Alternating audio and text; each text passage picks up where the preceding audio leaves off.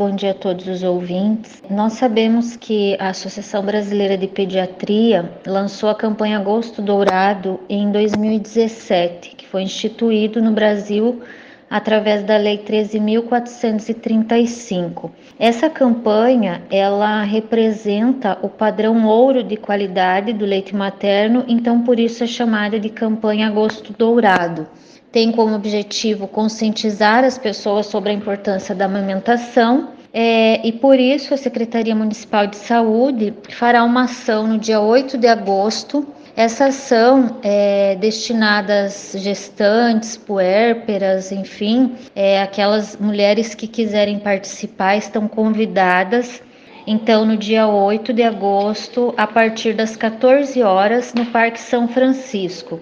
É, nessa ação, alguns profissionais estarão participando para informar, para orientar, para tirar dúvidas. É um momento em que as mães serão orientadas em relação à importância da amamentação, em relação à importância da rede de apoio para essas mães, para essas gestantes. E o que nós esperamos, né, os objetivos dessa ação é proteger, é promover e apoiar a amamentação. É importante nós lembrarmos que a Secretaria Municipal de Saúde apoia a amamentação é, por saber que, é, que ela é essencial para a sobrevivência, para a nutrição, para o desenvolvimento nos primeiros meses de vida, né, e no início da infância e porque o leite materno é considerado pela Organização Mundial de Saúde como esse alimento ouro para os bebês.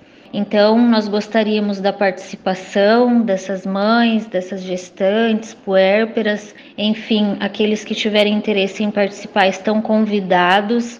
Os profissionais estarão lá para orientar, para auxiliar, informar e também para compartilhar vivências, experiências que é dessa fase tão especial para todas as mães.